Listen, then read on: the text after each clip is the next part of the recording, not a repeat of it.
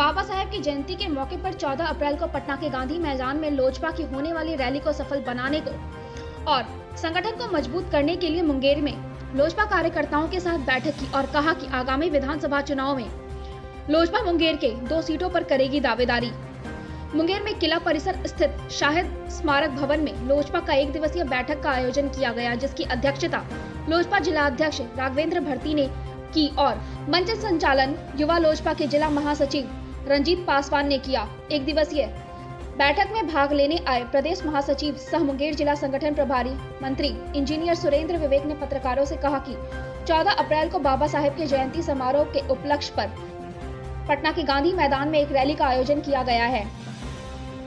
तैयारी है कि पटना गांधी मैदान में जितना ज़्यादा से ज़्यादा संख्या में उस रैली में भाग लेंगे। जी। हम जमा तारीख को पटना गांधी मैदान में अंबेडकर जयंती चौदह फरवरी को। आदरणीय चिराग पासवान जी के आदेश पर लगातार केवल मुंगेर नहीं बल्कि बिहार के विभिन्न जिलों में लगातार बैठकें चल रही हैं। मेरा सदस्यता अभियान चल रहा है। 14 अप्रैल को जो बाबा साहेब भीमराव अंबेडकर के जन्म जन्म- जन्मदिन पर गांधी मैदान में एक रैली होना है, महारैली होना है। इस संदर्भ में लगातार विभिन्न जिलों में बैठक चल रही है। इसी उद्देश्य से आज मुंगेर में भी बैठक चल रही है और संगठन की मजबूती के लिए भी बैठक चल रही है।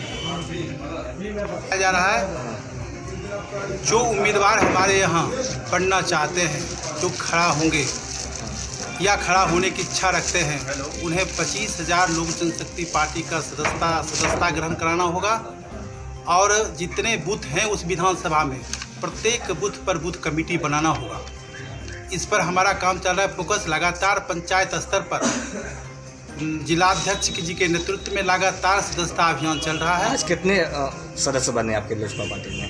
ये अभी तक लगातार चल रहा अभी टोटल ये नहीं हुआ है, लेकिन हमारा मकसद है इस ज़िले से पचास हज़ार सदस्य पचास हज़ार सदस्य इस ज़िले से बढ़ाए जाएँगे ये लक्ष्य रखा गया है। एक लाख ज़िले में कितने एक का लाख टारगेट है? अच्छा एक लाख का टारगेट टारगेट रखा गया वो क्या लक्ष्य आपका पूरा हो सकेगा? पूरा काम चल रहा है लगातार चल रहा है। गति से चल रहा है। हमको 28 फरवरी तक ये लक्ष्य रखा गया है। काम चल रहा है लगातार। क्या नाम है आपका? सुरेंद्र विवेक। क्या है आप? प्रदेश महासचिव सह मुंगेर संगठन प्रभारी। लेटेस्ट खबरों के लिए देखते रहिए एम न्यूज़ जेड न्यूज़ और ताज़ा अपडेट पाने के लिए चैनल सब्सक्राइब करना ना भूलें।